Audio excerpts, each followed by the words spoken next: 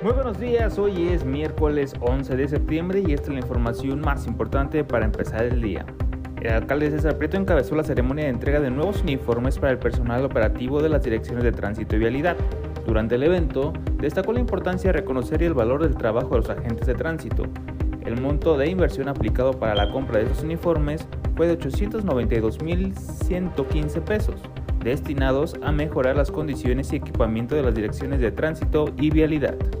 Con un aproximado de 2 millones de pesos se ha atendido más de 100 kilómetros de caminos de terracería, informó así César Prieto Gallardo, caminos que necesitaban urgentemente una manita de gato luego de las malas condiciones en las que se encontraban, derivado esto de las lluvias y el paso constante de los vehículos.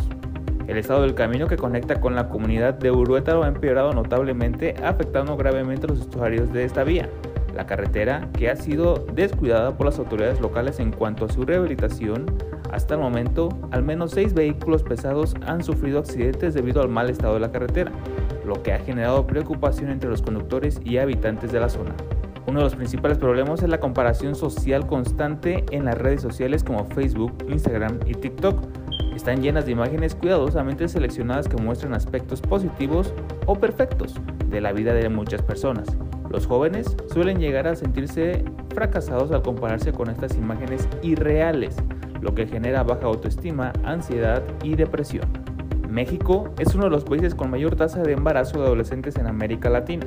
De acuerdo con el INEGI y la Secretaría de Salud, cada año se registran aproximadamente 340.000 nacimientos de madres adolescentes entre los 15 y los 19 años.